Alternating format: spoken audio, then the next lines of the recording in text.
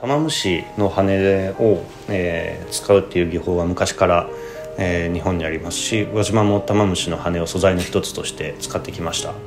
で、えっと、普通の蒔絵というのは漆で絵を描いてその漆が乾く前に上から金粉金粉あと他の金属粉を巻いていくことで、えー、模様が出てきます。で玉虫は実はこの羽を2ミリ四方にカットして一枚一枚漆で貼っていくんですね。なので、えっと、蒔絵の技法の一つではあるんですけれどもなかなかこういうなんていうか、えー、絵ではなくて、えー、こう敷き詰めていくっていうところが非常に面白い技法の一つだと思います。で、えー、玉虫の羽は見る角度によって色合いが変わってくるっていうところが面白いのかなと思いまして昔から日本人が好きな、えー、装飾の一つなのでこれをあの皆さんに見てもらうっていうのも僕らとしては面白いのかなと思います。当然なんですけど玉虫貼ってある下も綺麗に上塗りはされています。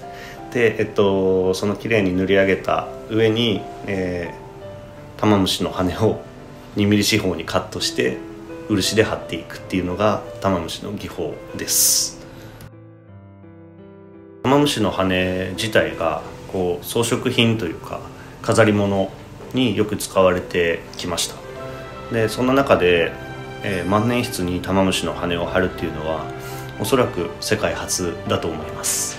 やっぱりこの玉虫の羽って、えー、こう R があるんですね。それを2ミリ四方にカットしてこの曲面に合わせて貼っていくっていうのは非常に大変で、えっとまあ、職人の作業を見ていてもなかなか進まないです。本当に1枚貼るのに結構な時間がかかるなと思いますしで羽の部分によって色合いが違うのでその色合いを合わせて貼っていくっていうのも、えー、結構大変な、えー、技術だとは思います。玉虫の羽というか玉虫自体が幸運を運ぶ虫と昔から言われてきて、えー、日本の、えー、タンスの中でしたりそういったところに羽をしまっておくっていう風習がありました。で、えっと、今はもうほとんど日本国内で玉虫っていう見かけなくなったと思うんですけど、えー、昔からのこう日本人が大切にしてきた習慣をこの万年筆を通して皆さんに知っていただければなと思います。